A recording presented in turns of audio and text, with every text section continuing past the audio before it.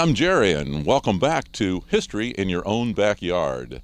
Today I'm with Julie in the town of Williamsburg, Ohio, which is one of the oldest towns in Ohio. Julie, nice to have you with us. Thank you. It's nice to have you here. Thank you. I understand that this town was actually formed back in the late 1700s by a gentleman named William Lytle. That's correct. He came here in 1795 with his older brother John. They were surveying the area. Um, several other men came with them, and they established a surveying camp along the east fork of the Little Miami River. Uh, their job was to survey the western portion of the Virginia Military District, which was land set aside for the veterans of the Revolutionary War.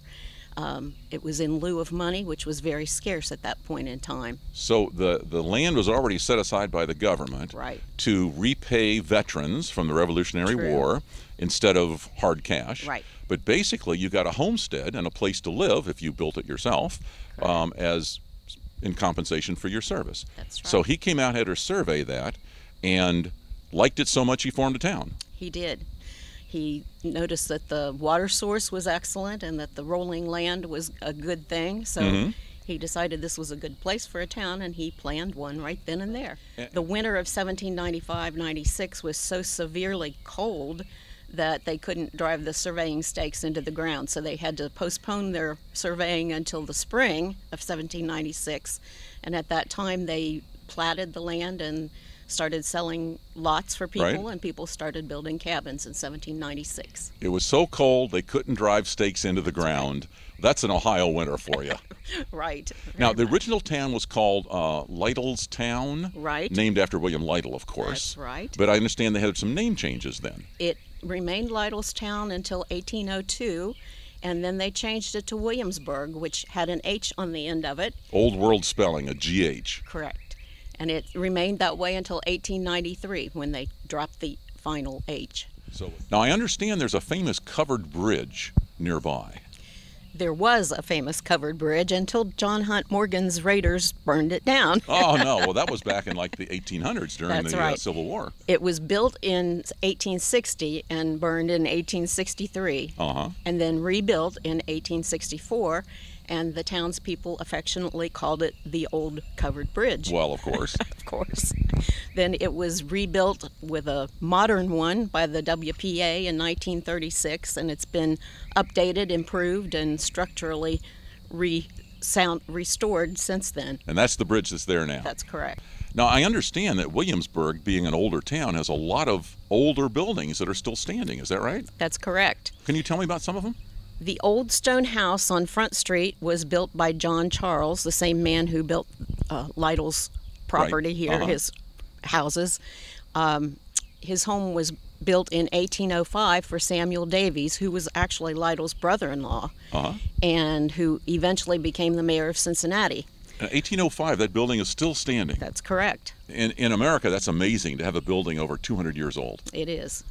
It's owned by the town and it has been very well taken care of through the years. The, the community building is next to it, Uh huh. and it's um, it's where the village offices are housed, the There we go. administrative offices. Okay, all right.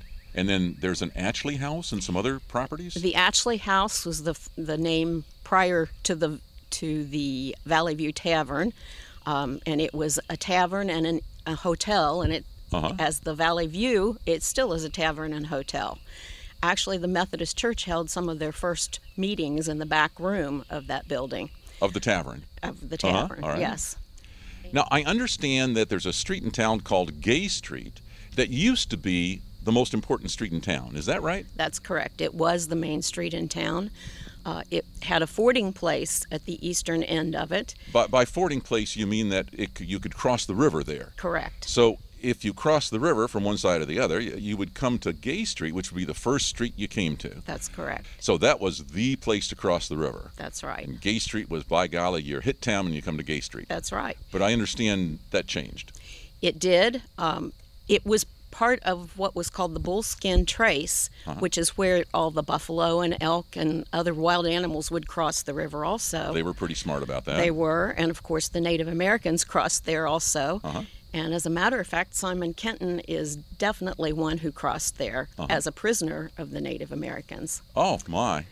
And um, however, when James Kane saw that that was not necessarily a good traffic flow for his business Because he had a business on Main Street. on on Front Street, On Front Street, actually, uh-huh. yes, um, he decided to create a Dugway. He and his sons, so that traffic would be diverted right past his tavern. And oh, how convenient for him. yeah, That's like which- being on the off ramp of a freeway, isn't it? That's correct. And he created this Dugway, and Main Street has become the main street of town ever since then, and Gay Street no longer was. So Main Street came about because of an enterprising businessman who snuck away to get the traffic coming to him. That's correct. There you go. And another interesting fact about that whole area there between Gay Street and Front Street is that the very first child born in Lytlestown was born there to Elizabeth and Absalom Day in 1797. Tell me about some of the other structures in town. Gay Street has several important structures on it. The John Williams home was built in 1862, and during Morgan's raid, some of his officers spent the night there. And Gay Street's also the home of the town's first churches. They were the First Presbyterian Church, the Methodist Church, and the United Brethren Church, and that church building is now a residence. So it been still converted. stands. It still stands. Wow. Yes. Also, very importantly, are two homes on Gay Street that were involved with the Underground Railroad. One was the home of Charles or Boss Huber, who was actually the conductor of the Underground Railroad in this area. And next to it was the home of Dr. Levitt Pease. And after Huber passed away, Dr. Pease became the conductor. And he and his wife were both very active on the Underground Railroad circuit. And their homes are listed by the National Park Service on the Underground Railroad Freedom Trail. The home of John Lytle, which was William Lytle's brother, Right. stood on the corner of Broadway and Main Street.